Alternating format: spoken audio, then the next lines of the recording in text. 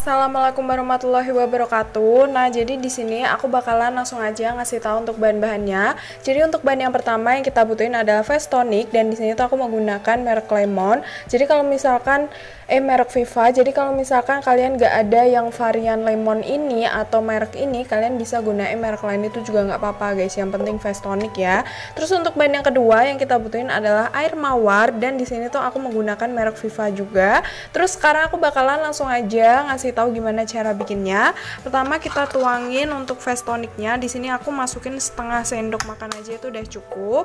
Terus untuk air mawarnya aku masukin kira-kira satu sendok makan terus habis itu kita bisa aduk kedua bahan ini.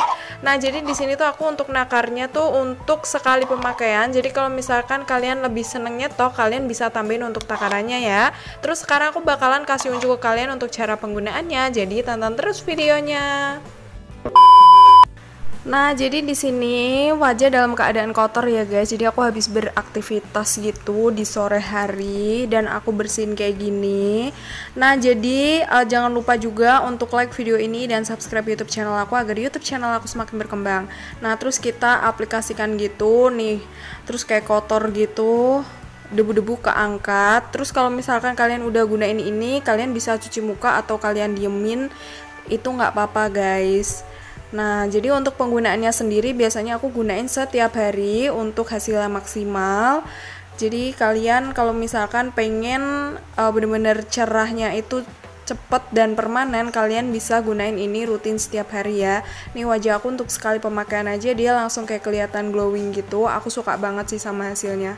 Nih beneran kotornya tuh keangkat semuanya. Nah kayak gini untuk hasilnya.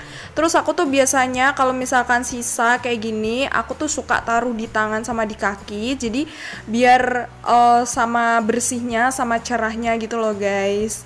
Jadi biasanya tuh aku ngerawat wajah dan tangan kaki jadi kayak seluruh badan gitu biar lebih maksimal dan cerahnya merata.